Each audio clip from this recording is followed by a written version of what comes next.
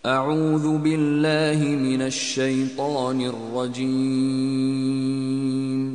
Bismillahirrahmanirrahim. Dan bumi telah mengeluarkan beban-beban berat yang dikandungnya. Dan manusia bertanya, apa yang terjadi pada bumi ini?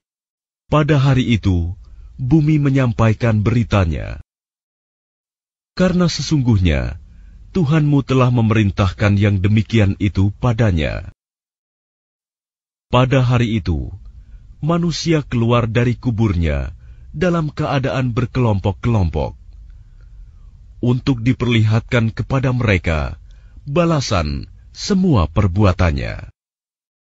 Maka barang siapa mengerjakan kebaikan seberat zarah, niscaya dia akan melihat balasannya.